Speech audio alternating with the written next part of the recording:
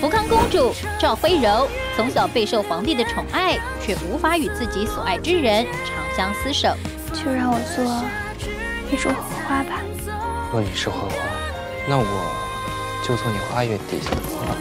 太极，你被困住了。他会死的。爹爹，你若毁了他，我就杀死你唯一的女儿。周一至周五八至十点，丝丝琵琶润喉糖，不成壁隆重登场。